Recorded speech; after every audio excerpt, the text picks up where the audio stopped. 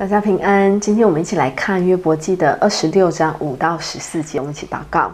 主上帝，感谢你，让我们有福气、有福分，可以来领受你的话语，帮助我们一起透过今天的经文，对你有更深刻的认识。我们向你献上祈求、祷告，奉主圣名，阿门。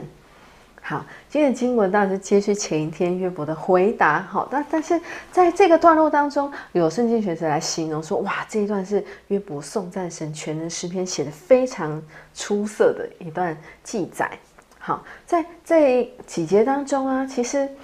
嗯，约伯他传递一个讯息说，既然他的朋友比勒达对神跟神道路认识实在是愚蠢到一个境界，所以。约伯应该来告诉他朋友，这个神是怎样的神，好像颠倒过来。然后在这个段落当中，有用了非常非常多的那个字词，很有意思。好，比方说，呃，有很多的要素，像大地、有水、有云、有天空，然后甚至有些词汇是来自创世纪概念，有虚空啊，好，然后空虚的部分。所以是很丰富的，它甚至还有一些类似就是古代神话那样的概念的词句，比方说，呃，洋海，好，就是大大海，或者是拉哈伯，或者是快蛇，这些东西都在这个段落当中。好，所以很有意思是，他提到许许多的名词，他讲，哎，这个神在这些地方他的作为是怎样？好，我们一起来看第十四节，看呐，这不过是神工作的些微。我们所听于他的是何等细微的声音，他大能的雷声，谁能明透呢？就我刚刚那样描述，呃，不过还是要请大家，如果时间可以坐下来，然后把这几节经文这样看过来，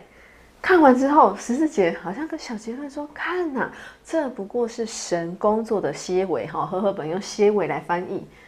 意思是什么？其实他描述了。整个宇宙万物这些事之后，但是这只是神工作的些微，就是那其中一点点。好，然后我们所听见的，于他是何等细微的声音。其实我们这渺小被创造的人，即使举目观看，神所创造一切，我们能够看透吗？没有办法哎。即使描述到这么壮丽的所有的一切。但是只是些微，我们有这样认识吗？还是我们想说啊，我已经很认识上帝，已经参透一切，不可能嘛？好，所以这里约伯用这样的语句，他用很华丽的词描述了这些事之后，但是他仿佛有更对神有更深刻认识，他知道我们对上帝认识就那么一点点些微。然后他大能的雷声神的明透呢，这好像有点文学上的对比哈。就是何等细微的声音，然后他的大能的雷声，细微的声音，大能的雷声，然后来提醒，来告诉他的朋友们，对你们对上帝有认识，但是神是这样的神，他是如此的伟大，如此的丰富，但是我们其实认识只有这么的少。其实，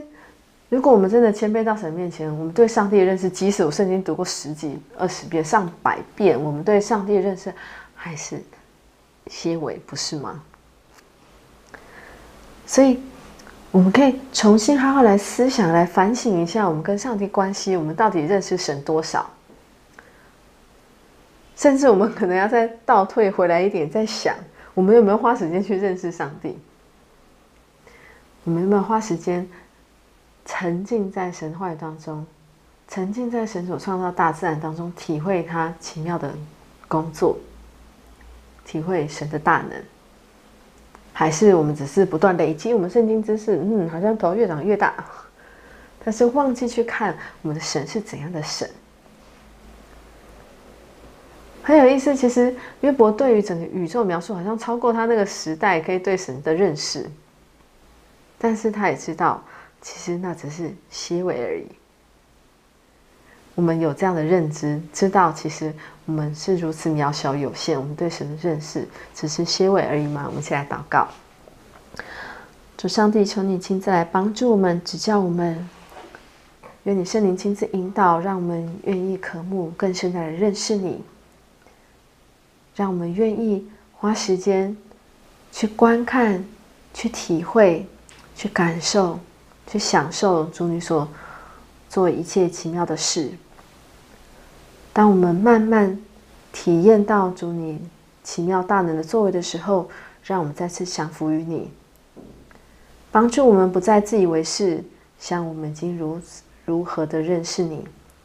而是再次谦卑回转到你面前。主愿你圣灵亲自来光照、指教我们，能够成为合你心意的人。我们向你献上祈求、祷告、奉主的圣名，阿门。